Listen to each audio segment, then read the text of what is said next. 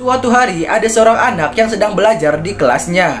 Tapi tiba-tiba pas dia melihat air di gelas, dia jadi kaget karena ternyata dia bisa mengendalikan air tersebut. Dan ketika di rumah, dia pun mengobrol bersama ibu tirinya, temannya, dan juga ibu dari temannya itu. Nah, di situ dia menunjukkan kekuatannya kepada mereka.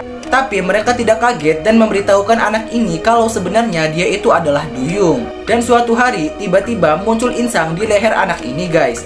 Terus di sekolah tiba-tiba dia merasa sakit dan jatuh pingsan tuh. Beruntung dia ditolongin sama kepala sekolahnya yang ternyata dia juga seorang duyung. Karena anak ini sudah memiliki insang, jadi dia dikasih alat dari bangsa duyung. Dan ketika anak ini sedang berenang, kakinya itu ternyata berubah jadi ekor ikan kayak gini. Dan sekarang dia sudah berubah menjadi seorang putri duyung. Ada cewek yang bekerja sebagai tukang make up mayat guys. Cewek ini sudah bekerja bertahun-tahun. Dan suatu hari datanglah seorang perempuan. Perempuan itu minta di make upin tuh.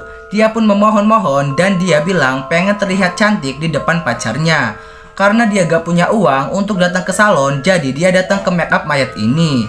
Pas lagi make upin, si tukang make up pun melihat ada luka di leher perempuan itu karena itu, si tukang make up jadi sadar kalau dia itu bukan manusia. Dan akhirnya perempuan ini menceritakan semuanya tuh. Jadi dia itu ditinggalin sama pacarnya guys. Karena gak terima, akhirnya dia lompat dari tebing tuh. Tapi dia masih mau ngejar pacarnya itu. Makanya dia mau di make upin kayak gitu. Setelah itu si tukang make up jatuh pingsan. Dan setelah sadar ternyata bener dong ada mayat si perempuan tadi. Tukang make up ini jadi takut dan kaget banget tuh dan akhirnya dia pun keluar dari pekerjaan tersebut. Ada ibu bumi yang menemukan bayi manusia di depan rumahnya, dan akhirnya dia pun memutuskan untuk mengasuh bayi tersebut. Waktu ke waktu pun telah berlalu, akhirnya manusia tersebut tumbuh dewasa. Tapi manusia ini hanya bisa bermalas-malasan dan membuat polusi sehingga si bumi jadi lelah. Karena terlalu lelah, akhirnya si bumi pun koma tuh. Dan si manusia berusaha untuk menyelamatkan ibu bumi tersebut. Tapi hal itu sia-sia dan akhirnya manusia ini menyirami garis kematian si bumi sehingga bumi jadi hijau kembali dan ibu bumi juga jadi hidup lagi. Dan setelah itu mereka pun hidup bahagia dan saling mengerti satu sama lain.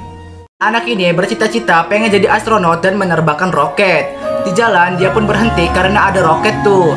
Dia pun ambil koin di celananya untuk menghidupkan si roket dan dia siap-siap mau terbang ke bulan. Tapi ternyata roketnya cuma bisa bergerak kayak gitu. Karena cuma punya satu koin, anak ini jadi gak bisa naik lagi. Dan dia pun mencoba jualan es lemon untuk mendapatkan koin guys. Setiap hari dia selalu jualan untuk mengumpulkan koinnya. Dan sekarang dia udah jadi tua dan koin yang dia kumpulkan itu udah banyak banget. Terus dia bawa nih koinnya ke tempat roket. Semua koin yang dia kumpulkan langsung dia masukkan tuh. Sekarang dia siap-siap nih mau menghidupkan roket itu. Tapi roketnya malah gak gerak sama sekali. Dia pun sedih banget karena waktunya selama ini terbuang sia-sia. Tapi ternyata beberapa koin masih ada yang nyangkut. Dan setelah semua koin sudah masuk, roket pun mulai ada pergerakan tuh.